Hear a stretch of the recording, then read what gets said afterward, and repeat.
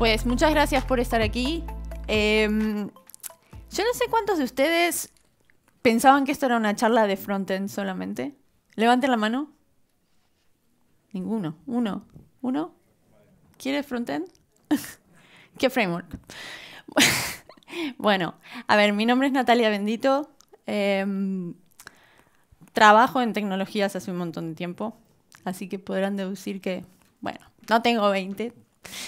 Em, empecé eh, más o menos mediados de los 2000 y sí, empecé como frontend developer porque soy autodidacta, entonces era una buena entrada en ese momento y sigue siendo una buena entrada ahora. JavaScript es un, lenguaje bastante accesible para, para muchas personas para aprenderlo, pero sobre todo por las comunidades que tiene alrededor, ¿no? Pero también pasa lo mismo con, con .NET y con otras comunidades. Realmente los desarrolladores somos los que hacemos que esto ocurra, que hoy estemos todos acá sentados y podamos hablarnos. Aunque yo a ustedes no los veo porque tengo unas luces en la cara que no me dejan verlos. No sé si hay 2000, como teníamos el, hace dos semanas en Ámsterdam, estaba hablando para 2000, ahora estoy hablando para una, eh, un petit comité, como dice una gente, que me gusta más, ¿saben por qué? Porque vamos a hacer, vamos a hacer cosas muy guay hoy. No vamos, no vamos a hacer frontend solamente, vamos a explorar una herramienta nueva que hace el equipo con el que yo trabajo, que es el equipo de herramientas de desarrollo y de experiencia de usuario en Azure. Sí es verdad que yo trabajo en la parte de JavaScript, pero y de Node.js y de todas las tecnologías em, por sobre JavaScript, TypeScript también. Pero lo que vamos a ver ahora no se limita a JavaScript. ¿vale? Vamos a hacer un despliegue de de una aplicación desde, bueno, obviamente desde, desde nuestro local, pero con un comando solo. Como no les veo, además les voy a hacer preguntas, pero como no les veo, a lo mejor me tengo que agachar un poquito. ¿Cuántos han usado el Azure CLI en la audiencia? Claro, Carlos sí, Carlos lo ha usado y, y el CLI lo ha usado a él también. Bueno, eso es lo, yo no, vi, realmente a la gente que está más atrás no la veo para nada, pero lo bueno de tener este tipo de charlas es que podemos conocer las herramientas que tenemos disponibles, porque muchas veces tenemos experiencias de usuario que no son buenas, pero es por desconocimiento. O sea, es porque realmente no tenemos tiempo, porque tenemos una entrega, entonces vamos a hacerlo como sabemos hacerlo, lo más rápido que podamos, porque bueno, hay que entregar. Todos hemos estado en esa situación. Entonces, estas, estas charlas nos sirven para exponer todas esas herramientas en las que trabajamos todos los días, intentando incorporar eh, el, feedback, la retroalimentación que recibimos de nuestros, de nuestros clientes, de nuestros desarrolladores. Entonces, bueno, yo había preguntado, ¿cuántos front-end developers tenemos en, en la sala? ¿Cuánta gente aquí se considera front-end developer? Seguro pocos, porque esta es una conferencia de backends. Pero lo que vamos a ver ahora no es que sea útil para los front-end developers solamente, es útil para todos los desarrolladores, porque los que trabajan más hacia el lado de infraestructuras, ¿cuántos están peleando todos los días con ARM o con Terraform para hacer funcionar las cosas? Malas experiencias de usuario, ¿no? de, desarrollador en este caso. Y todos necesitamos a veces o queremos, nos simplifica la vida, tener una herramienta que, bueno, la, le metemos un par de comandos y ¡pum! hace lo que nosotros queremos. Entonces les contaba que yo había empezado mi viaje más o menos en la mitad de la, de, la década del 2000 y este es mi viaje, ¿vale? Eh, Empecé como web developer, después front-end developer con una consultora, después full stack, después arquitecto y al final terminé trabajando en Microsoft, intentando llevar toda esa experiencia, todo ese, digamos, todas esas noches que me pasé llorando a las herramientas de desarrollador para que ustedes no lloren, no, no para que ustedes lloren, obviamente. ¿Cuál es el viaje del, del código desde nuestro ordenador a la nube. ¿A cuántos les interesa eso? Realmente. A mí no me importa. Yo solamente quiero llegar, desplegar o provisionar, desplegar y que las cosas funcionen. ¿Vale? No todo hay gente que está muy interesada en todos los, los mecanismos que van por debajo, pero muchísima gente realmente no les importa demasiado. Lo que sí les importa es tomar las decisiones que les permitan que, o saber cuál es la ruta, la mejor ruta, para completar una tarea sin llorar. ¿no? Y estamos hablando de, bueno, opciones, ¿no? ¿Cómo lo hacemos? Hay gente que prefiere tener muchísima configuración y tener que tocar cosas aquí y allá. Hay otros que realmente preferimos un botoncito y nada más, porque tener que elegir forzosamente tampoco es bueno, ¿no? Es bueno tener alguna opción si necesitamos hacer las cosas de una manera u otra, pero tampoco tenemos por qué eh, pasarnos 25 minutos eh, configurando antes de, de provisionar y desplegar. Me gustaría hacerles una pregunta, que lo pueden decir en voz alta. ¿Cuánto es para ustedes el tiempo idóneo o ideal, el lapso de tiempo, entre que tienen una aplicación lista para desplegarla o para, para tenerla en la nube y verla publicada. O sea, si es un sitio web, por ejemplo. No una API, sino vamos a poner un sitio web. Carlos, va, que te encanta. te encanta participar. Con la plataforma o sin la plataforma. Bueno, lo decís tú, o puedes darme una, una opción para cada uno. 5 y 10 minutos. Entre 5 y 10 minutos. Sí. ¿Alguien más? Venga, no sean tímidos. estoy acá yo sola con dos focos ahí en la cara. ¿Hay alguien por ahí? ¿Cuánto? Yo, entre, entre 1 a 3 minutos. 1 a 3 minutos. ¿Qué, qué, qué caso de uso es ese? No, es perfecto. Eso yo también es lo que, lo que espero. El, eh... Claro, a ver, si es una aplicación simple de una parte front, sin utilizar APIs que has dicho tú, o sea, sin tener que configurar mucho, pues un contexto simple. de dos a tres minutos, desplegarlo directamente. Vale, muy bien. Sí. Bueno, vamos a suponer que estamos en las condiciones ideales de latencia, de, bueno, de, de, redes, de todo lo demás, ¿no? Porque hay cosas que podemos controlar, hay cosas que no, hay cosas que son un poco más variables, pero en realidad, desde el momento en que uno se sienta y dice, bueno, este es mi repositorio y quiero que, que se vuelque aquí, quiero que se compile, quiero que se despliegue, quiero que... Sí, está bien. Bueno, no. Ya me tenías que poner en una situación complicada. Pero en fin, cuando, cuando yo empecé volviendo atrás, y hay mucha gente acá que seguro conoce esta ruta, no había, no habían, no las opciones esas que nos obligan a, bueno, a tomar alguna, ¿no?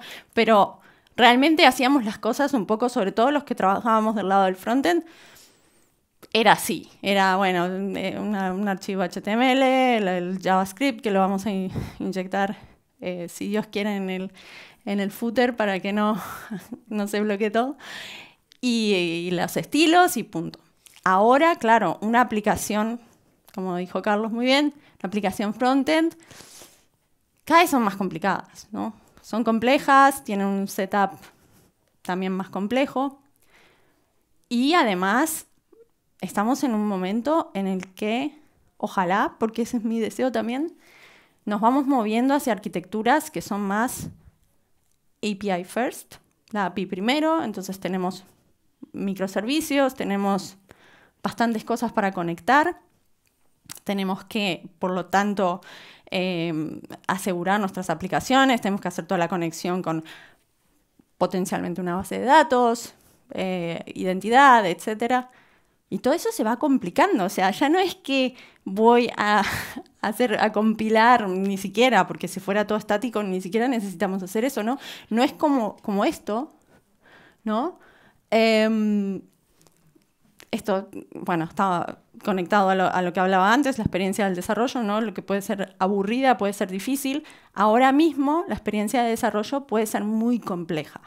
Puede terminar siendo algo así, porque la aplicación se configura, el, el medio en el que se despliega se configura, las conexiones, todo lo que está alrededor, todo ese ecosistema requiere que el desarrollador esté, bueno, tenga muchísimos más puntos de depuración además. Entonces, ¿cómo elegimos o qué nos va a hacer elegir eh, o en base a qué tomamos decisiones cuando se trata de, herramientas de desarrollo? Para asegurarnos que tenemos una buena experiencia de desarrollo. Bueno, generalmente nos basamos qué herramientas hay disponibles, qué documentación y otros recursos tenemos. Bueno, la lista ahí, la facilidad de integración con otras tecnologías. ¿Alguien que quiera contribuir con algo que no está ahí? Elijo a uno, ¿eh? Aleatorio. A ver, aquí. ¿No? ¿No? Ahí, atrás. Nadie quiere decir en qué se basa para... Eso es mi trabajo, yo necesito saber. Si no me lo cuentan, no puedo mejorarlo. La comunidad alrededor de La comunidad. Bueno, pero eh, eso no es tu decisión, ¿no? Eso no es tu decisión, eso es... Sí, ¿y cómo lo convences? Eso es un punto importante. ¿Cómo le convences? Yo me acuerdo de decirle, bueno, si usamos esto, los desarrolladores vamos a ser más productivos, desarrolladoras también, y vamos a costar menos, porque no estamos tantas horas haciendo tareas que no son, que al final al cliente le dan igual. Al cliente igual le va a dar igual que uses Node, que uses lo que te dé la gana y los paquetes que metas. ¿Cómo? ¿El dinero? El coste, sí. Sí, sí, sí. Al final todo esto va a incidir no solo en la experiencia de desarrollo, sino en el coste final de la aplicación. Entonces, tenemos que decidir qué ruta tomar para completar una tarea, eh, cuando desconocemos todas las opciones y somos front-end developers, igual no conocemos la nube en la que vamos a desplegar y cómo tomamos las decisiones para que nuestra experiencia sea óptima. Bueno, pues hay gente eh, que estamos trabajando en esas experiencias end-to-end. Y eso es básicamente eh, lo que hacemos en el equipo donde yo trabajo. Hay gente que se dedica a Python, a Java, a .NET. ¿Y en qué nos basamos? Bueno, pues seguimos el ciclo de desarrollo. O sea, ¿qué hace el desarrollador? Pues tiene que hacer un setup, tiene que hacer una implementación, tiene que hacer eh, una integración, tiene que hacer luego la compilación, el despliegue, el testing, la depuración, itera, pim pam. Pues nosotros hacemos lo mismo todos los días en Azure para asegurarnos que las cosas van bien y a veces, bueno, necesitamos también el feedback. Entonces, yo ahora les voy a proponer desplegar una aplicación que ya la tengo, ya la desarrollé, no me voy a poner a implementar ahí, lo siento, que es, eh, tiene esta arquitectura, ¿vale? Es una aplicación React, tiene un, servidor Node y se conecta con Key Vault, con Cosmos DB y con Monitoring, ¿vale? Y lo vamos a hacer con una herramienta que como a mí me encanta hablar, ya se dieron cuenta. Em, espero que nos dé el tiempo, pero si no tengo un vídeo, lo tengo todo, tengo el plan B, el C, el D, todos. Y lo vamos a hacer ahora desde el, em, desde el ordenador. ¿vale? Entonces, me voy a cambiar de pantalla de escritorio un montón de veces. Em, aquí estamos. Vale. Primero que nada, bueno, déjenme mostrarlo un poquito. La aplicación, la aplicación como tiene, se ve bien, porque la puse enorme y yo no veo nada en realidad, porque está tan grande que, tengo como una letra de 45. Em, vieron que tiene un, archivo de, contenedor, entonces me pregunta si, quiero seguir desarrollando en contenedor. Em, en este caso, bueno, ya ya es un repositorio inicializado, está, está remoto también. Y lo que yo les quiero mostrar es esta carpeta infraestructura. Esto es un template que nosotros hacemos que es el ideal. Cualquier proyecto se puede inicializar con esta herramienta que es el Azure Dev CLI, de momento, porque ni siquiera está en public preview. Hay cosas que todavía estamos refinando y puede ser que el nombre cambie, pero de momento nosotros le conocemos así, que es una abstracción por encima del Azure CLI. ¿vale? Entonces, yo tengo estos, estos em, archivos BICEP, ¿vale? ¿Quién, ¿Quién conoce BICEP? ¿Quién ha trabajado? ¿O BICEP? ¿Nadie? ¿Nadie en la sala? Pues mejor. Bueno, Carlos, sí, Carlos. Carlos es que lo ha hecho todo. Carlos, vente conmigo aquí. Em, pues nada, si, alguien ha trabajado con ARM en el, pasado, saben que, bueno, es un lenguaje que se usa eh, para como infraestructura, como código. Me cuesta decirlo en español eso. Pero no es muy intuitivo. Es un JSON, es complicado, mm, los tipos también. Entonces, ¿qué hicimos? Bueno, eh, trabajamos en este nuevo lenguaje, digamos, que soporta todos los tipos de, recursos en Azure con diferentes APIs o versiones de la API, entonces podemos escribir, eh, podemos describir nuestra infraestructura con este eh, lenguaje de dominio específico. ¿cómo se llama? Y es mucho más simple porque además hay un servicio que nos permite, por ejemplo, em, nos permite hacer cosas como esta, ¿no? Ir a las definiciones, ir a las referencias, entender eh, las, las, interfaces que están por detrás. Y bueno, aquí lo podemos configurar completamente. También nos, nos permite, como es, como estipado, nos permite crear em, ciertos parámetros. Por ejemplo, en este caso eh, hemos creado lo que es el, eh, la ubicación donde vamos a desplegar. Y así, el que tiene un poco de conocimiento de Terraform es básicamente lo mismo, ¿no? Estamos describiendo nuestra infraestructura, luego cuando la línea de comandos interprete esto, se lo pasa al Resource Manager y el Resource Manager dice, ay, bueno, a ver, ¿cuál tiene que ir primero? O sea, los, los va desplegando, los va provisionando, en realidad, en el orden adecuado para el que esté, porque si yo hago una conexión a una base de datos que no existe, obviamente todo va a petar. Pero no tiene que ser el desarrollador tampoco el que se ocupe de eso. Puede ser, eh, en este caso, está todo automatizado. Lo siento. Yo tengo un poco de alergia a la, alfombra. bueno, en fin, entonces tenemos este, este archivo de configuración o de, infraestructura como código en Bicep y lo que vamos a hacer es irnos al, a, la, línea de comandos. Hemos instalado cosas, o sea, no es que funciona con magia, todo tiene algo por detrás, obviamente. Tenemos eh, el Azure CLI, Em, que está por debajo, está instalado.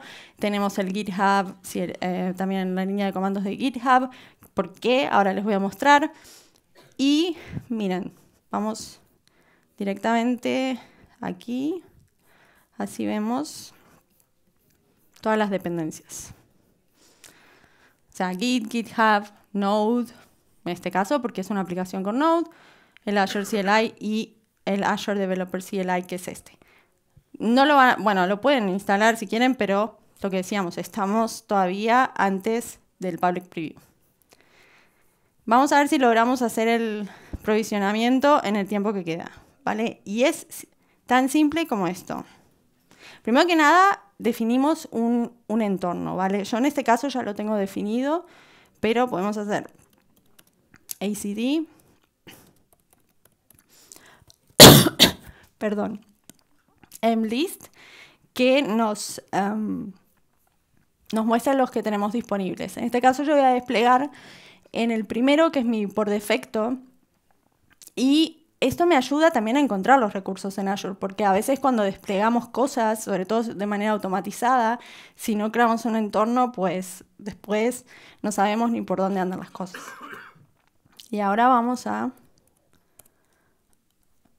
hacer ACD o ACD app, me va a preguntar en qué región. Sí, podría elegir una más cerca para no tener tanta latencia, pero vamos a ir con esta porque estoy segura de que ahí no hay problema en ese momento. Entonces, me dice, bueno, voy a empezar a provisionar recursos. Y es, ya está. ¿Y qué son? Pues son los que están descritos otra vez aquí. Tenemos App Insights para hacer la monitorización de Analytics. Em, bueno, este es el, perdón, no este, este. Este. Tenemos la web, o sea, el servicio de App Service, tenemos los settings, tenemos los logs, tenemos la API, que vamos a desplegar también una API con Swagger, y tenemos una base de datos, bueno, en Key y la base de datos de Cosmos DB. Y todo eso, todo lo que son cadenas de conexión, eh, claves de API, todo eso se va a escribir directamente en ese fichero .azure para completar las variables de configuración sin que nosotros tengamos que ir nunca al portal, a ningún lado, a hacer nada. Todo desde aquí. ¿Vale? Todo esto va a seguir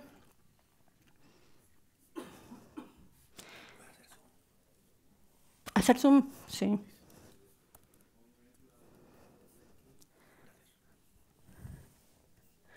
Vale, a ver. Ahora se me perdió. Está ahí abajo. Dice que va corriendo dos, que ya, ya despliegue, bueno, provisionó en nueve y sigue un buen rato. Bueno, esto puede, puede llevar más de tres minutos como quería, como quería, el, ¿cómo te llamas? Juan. Como quería Juan. Pero bueno, también es por, porque elegí una región un poco lejos, ¿no? Y lo que decíamos, todos estos recursos se están creando en un cierto orden, no, no así al azar. Estamos reescribiendo, ay, te agradezco mucho. Estamos escribiendo la configuración eh, automáticamente y lo que va a pasar, espero que lo podamos ver, es que se va a, se va a compilar la aplicación, la aplicación del frontend también, la web, la API y la vamos a tener en una URL cuando, bueno, nos lo diga, cuando termine. podemos ir y ver que en este momento, bueno, no aquí, perdón, podemos ir y ver que en este momento no existe, ¿vale? No hay nada ahí. Está, está corriendo, pero no está todavía publicada. Pero antes no había nada. O sea, si hubiera ido hace un par de minutos, aquí no existía nada. Si voy a web, y además yo sé cuál va a ser la URL porque está tomando el nombre del, entorno. Si voy aquí, bueno, aquí todavía no, no hizo nada. Así que si volvemos al... Si volvemos aquí, vemos que, bueno, sigue, sigue trabajando, sigue haciendo sus cosas y nosotros como desarrolladores probablemente nos podemos ir a hacer em, otra cosa que tengamos que hacer. En este caso, si vemos la estructura del, del template, bueno, tenemos la API, tenemos la web. Como les decía, esto no es más que una aplicación React y la API eh, un Swagger con Node.js. Preguntas, mientras esperamos que esto siga. Venga, no sean tímidos. ¿Cómo va a pegar los recursos con los entornos en Azure? ¿Cómo, cómo? El, el mapping de los recursos que estás desplegando con el entorno, ¿no? Con Azure, que es un tag. Sí.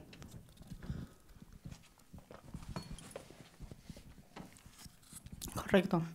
Es como lo como lo solemos hacer, mm, bueno, con las, con las APIs que tenemos disponibles, simplemente que no, lo tenemos no hay nada manual, aquí está todo automatizado. Y otra cosa que les voy a mostrar, una vez que terminemos, es que además podemos subir directamente, y por eso tenemos una dependencia con GitHub y el, el CLI de GitHub, podemos subir directamente em, el workflow también con un comando, sin tener que crearlo de ninguna otra manera o otra vez irnos al portal que esto pasaba anteriormente, ¿no? Había que ir al servicio, crear em, un deployment service o, y, era la, la, forma de generar desde el portal un archivo, un workflow para GitHub Actions.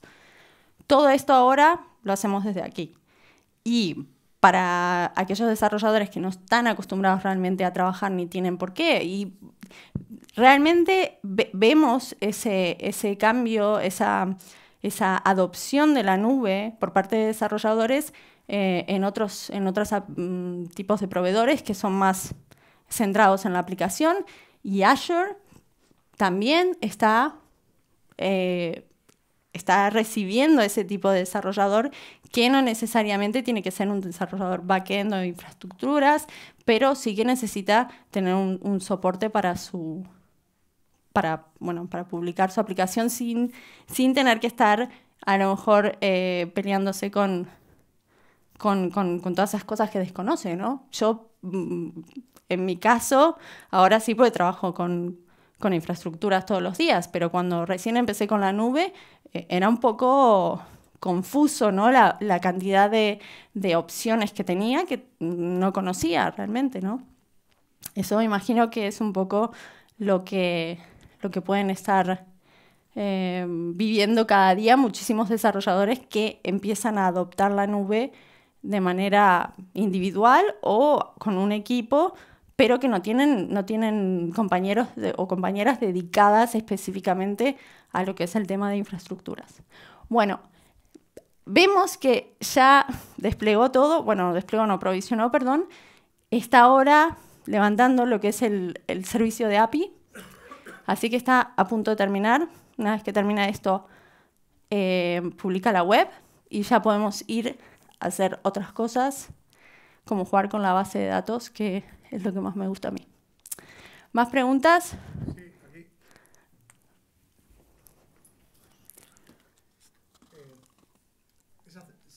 está preparada para, o sea, el, workflow típico es como desarrollador, la tengo en mi máquina, instalo, o, eh, parte también de un ciclo de vida de instalar esa CLI en una GitHub Action o en un pipeline y usarla como parte del workflow habitual que puedes tener.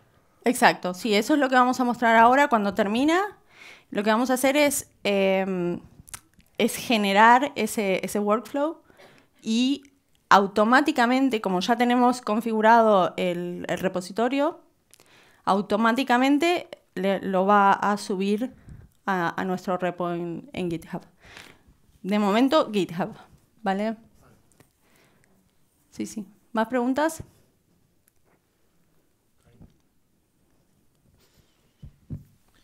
Para el tema de las suscripciones y los grupos de recursos, ¿cómo se relacionan con los entornos y demás? Bueno, en este caso, yo es que ya lo tenía hecho, pero el entorno cuando tú lo creas, cuando le das, em, le das a, a, ZD eh, New y le pasas un, un nuevo nombre, te va a preguntar qué suscripción quieres usar. ¿no? Te va a dar una lista de las suscripciones porque ya estás logueado, ¿no? Estás eh, autenticado en el CLI. Eso es una de las, de las digamos, interfaces que utiliza del, um, del Azure CLI, ¿no? Te permite autenticarte. En este caso, todo esto yo ya lo tenía hecho para agilizar un poco y por si había algún error que no quería que, bueno, que nos, nos retrasaran la charla. Pero sí, primero te tienes que autenticar, y luego te va a mostrar todas las suscripciones que están disponibles para tu usuario y luego yo ya en este caso elegí mi suscripción personal eh, y queda enlazado, digamos. Ese entorno le pertenece a esa suscripción. En el caso de los grupos de, mm, de todo lo que son todo lo que son los recursos por encima, resource group eh, y cualquier servicio satélite o adicional que necesiten estos en concreto para funcionar, los va a crear automáticamente. No tienes que crear nada. Sea, te va a crear con ese, con ese nombre, con ese prefijo, digamos. En este caso, el mío es em, e, nv-mad Y le he puesto un guion porque, claro, la URL lo pone directamente eh, con API o con web y para que quede más bonito yo le puse el guion. Lo otro no, el primero que hice y, ahí me di cuenta que eso es algo que a lo mejor desde el punto de vista de experiencia de usuario podemos y, y experiencia en general se puede mejorar. No sé si eso contesta la, la pregunta. Perfecto. Pues bueno, yo creo que ya casi está. Le falta todavía la web, así que sigan preguntando cosas así. Sé cómo vamos de tiempo. Pienso que bien, ¿no? ¿Hasta qué hora era? Hasta y cinco. Bueno, si no, lo que puedo hacer es... Hasta el cuarto. Bueno, podemos seguir, podemos dejar este, pero que podemos ir a ver uno que ya está, ¿vale? Como decía, este no está, pero ¿cómo le había llamado el anterior? Que lo dejé. Porque luego podríamos eh, correr a Z de down, ¿vale? Y nos limpia todo. Todo lo que está en ese, en ese entorno eh, se puede borrar. Pero en este caso tenemos um, env new env. Ah, creo que esto lo había, le había hecho un bookmark. Y entonces aquí tenemos la API esto es lo que está haciendo ahora justamente. Y tenemos la web. ¿Vale? Esto es la aplicación esa React. Y como vemos, ya, ya, hizo todas las conexiones. O sea, no tenemos que preocuparnos de, identidad, del keyword, de los secrets, de la clave de API, no eso todo se va a configurar automáticamente y es plenamente funcional. O sea, esto es un item. Eh, terminar de desplegar. ¿Vale? Eh, vamos a ver. Em, traer a Carlos al escenario. vale, entonces vemos que Em, lo que voy a hacer es me voy a pasar a este otro entorno. entorno. Es, es este. Aquí puedo hacer lo mismo para asegurarme. Vale, es este. Este es el entorno por defecto. Y vamos a abrirlo VS Code. Y como yo tengo las, las extensiones y estoy también autenticada en VS Code, ¿vale? Si yo me voy aquí a mi suscripción, me aparecen todas las extensiones disponibles que tengo instaladas. Si me voy a... Em, esto me lo han cambiado un poquito. Aquí Cosmos, perdón. Aquí veo las bases de datos, o sea, está sincronizando con todo lo que está pasando en mi suscripción en este momento. Vemos que está también la, de, la que acabamos de, de provisionar. Pero vemos esta, que es la anterior. tengo este, esta aplicación, o sea, tengo esta, eh, esta base de datos, tengo estas dos colecciones, To-Do Item y To-Do List, que las creó automáticamente a partir de la configuración. Y si yo me voy aquí, vemos terminar de desplegar y traer a Carlos al escenario. También puedo trabajar con mi base de datos directamente desde, desde VS Code. Podemos borrar esto, borrar este documento.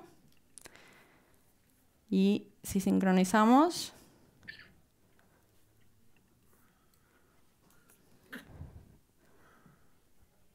vemos que se fue, ¿vale? O sea que todo este, work, todo este workflow, ¿no? De esta manera, permite al desarrollador, en este caso frontend, trabajar directamente con los recursos en Azure, en la nube, de una manera bastante simple, ¿no?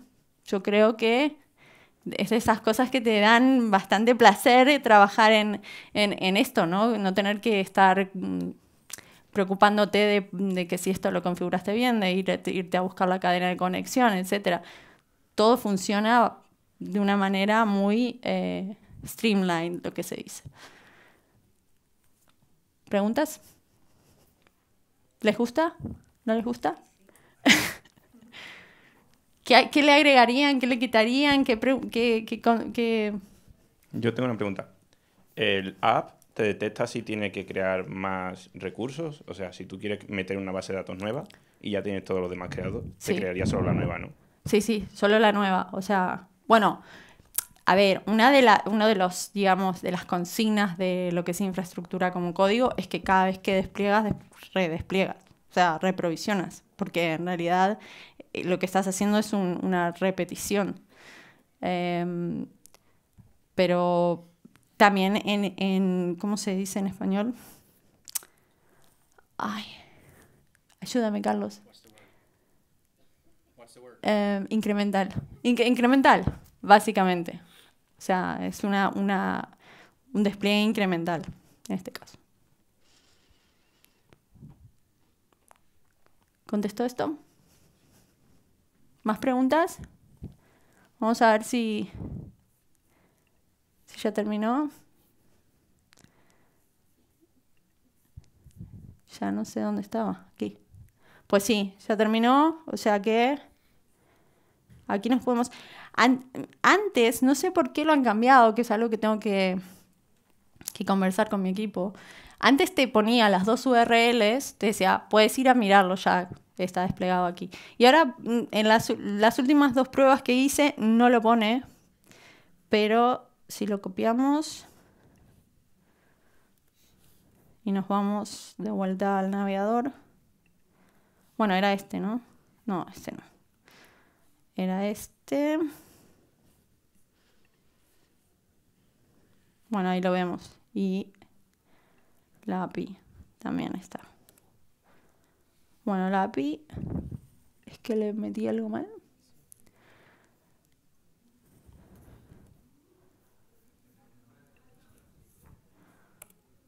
Ah, ya sé, porque tiene este hash aquí.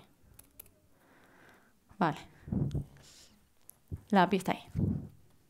O sea que lo hemos visto dos veces, repetido, la misma configuración, exactamente la misma infraestructura y todo funcionando sin tener que rompernos el coco. bueno, pues es, esto es básicamente lo que les venía a contar hoy. Espero que lo hayan disfrutado. En resumen, describimos los recursos, utilizamos el CLI para listar y crear entornos, utilizamos el CLI para crear los recursos. Ah, nos falta esto, me había olvidado. ¿Cómo no me lo dicen? Carlos, no estás atento. ¿eh? Está dormido, Carlos. No me ayuda, así no. Bueno, entonces estamos en, en el que toca. Espero que no falle, porque a veces cuando la creas muchas veces, como lo he venido haciendo yo para fijarme que funcionaba, pero es básicamente AZD, config, no, perdón, pipeline, config,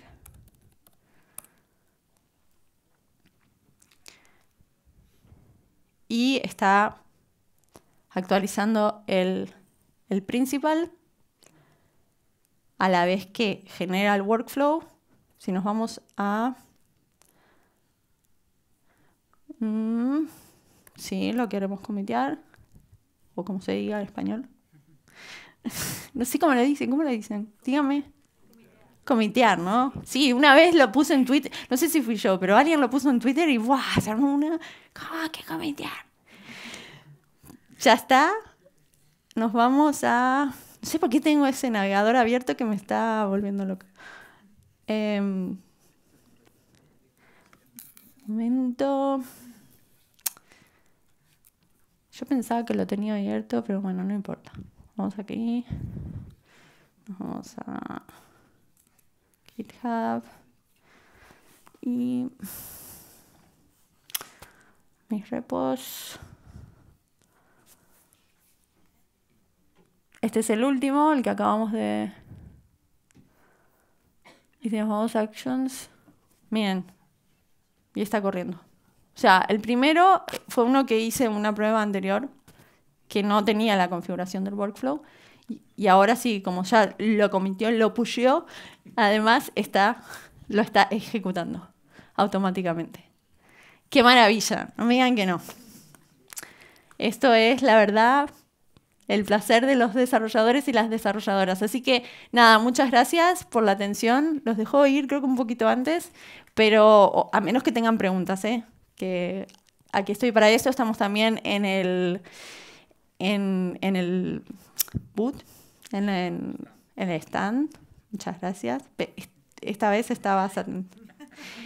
Bien, porque tengo un slide más. Vale, utilizamos las extensiones y suscríbanse a la newsletter de developers para poder recoger el swag en el stand de Microsoft. Muchas gracias.